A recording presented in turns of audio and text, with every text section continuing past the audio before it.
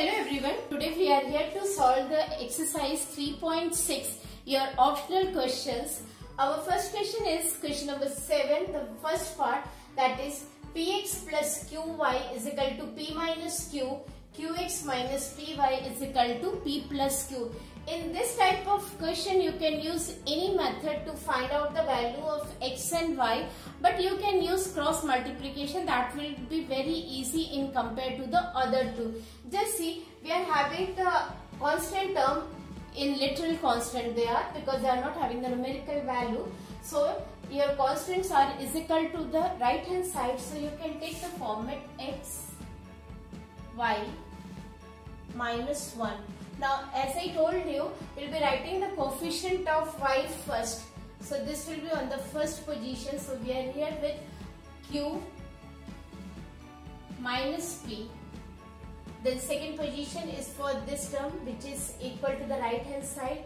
This is your p minus q and here it is p plus q. This is the third position. So this is your p and q and again your first position will be repeated that is fourth position. This will be your q and this will be your minus p. Okay? Now we'll work out for the values of x and y. X is equal to just cross multiply that is q p plus q. We'll take one minus of formula. And one minus is here so it will it will become plus plus p p minus q is equal to again y. Your p minus q q minus p p plus q is equal to minus 1 this will be a minus 1 upon minus p square and minus q square minus q square. Okay? So we'll solve this one. This becomes x upon qp plus q square plus p square minus pq your pq and pq will be cancelled.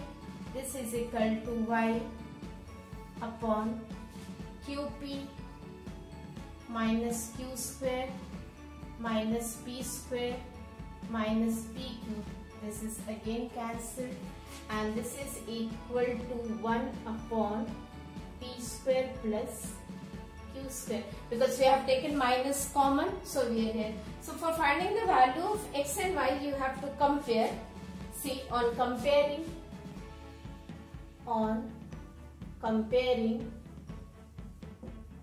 x upon x upon p square plus q square is equal to 1 upon p square plus q square.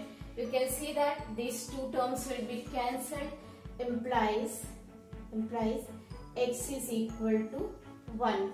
Again again y upon will take minus here common so this becomes q square plus p square is equal to 1 upon p square plus q square implies y is equal to minus 1. So this is how we obtain the value of the variable if the linear equation in two variable is given in constant other than numerical value. Thank you.